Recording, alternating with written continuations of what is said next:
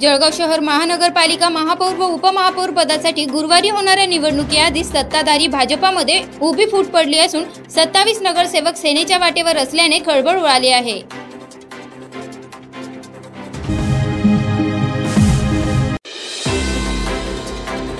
जळगाव महानगरपालिका महापौर व उपमहापौर पदासाठी सत्ताधारी भाजपमध्ये अंतर्गत गटबाजी वाढत आहे. अखेर या गटबाजीचे रूपांतर कुठे झाले असून महापौर व उपमहापौर पदाची निवडणूक अवघ्या चार दिवसानंतर येऊन ठेपली असताना जळगाव मनपात राजकीय उलटापालट होण्याची शक्यता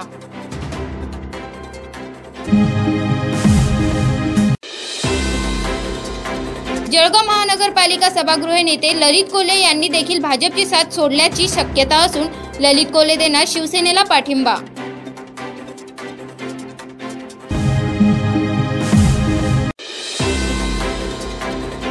भाजपचे संकटमोचक असलेले गिरीश महाजन यांना मोठा धक्का बसल्याची चर्चा आहे. राजकीय उलटापालट विशेष संकटमोचन संकटात.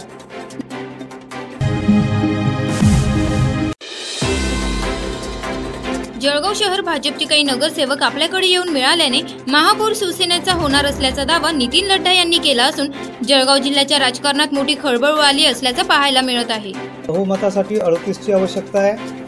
आमचे पंधरा आणि आठ पंधरा आणि तीन एम आय एमचे असे अठरा संख्याबळ आहे. वीसपेक्षा जास्त संख्या ही आमच्याकडे भारतीय जनता पक्षातनं त्यांच्यासोबत जाऊ या भावनेतनं बरीचशी मंडळी आज आमच्या संपर्कात आहे. संपर्कात असण्यापेक्षा त्या आज अज्ञातस्थळी रवाना सुद्धा झाल्या